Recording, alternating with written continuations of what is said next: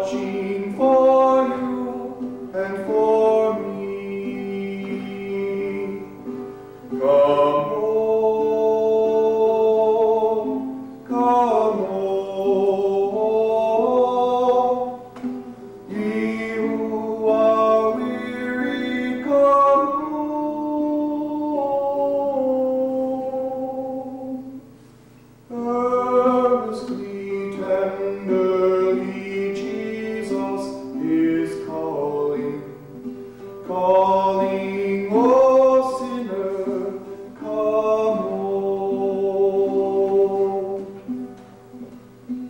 Why should we tarry when Jesus is pleading, pleading for you and for me?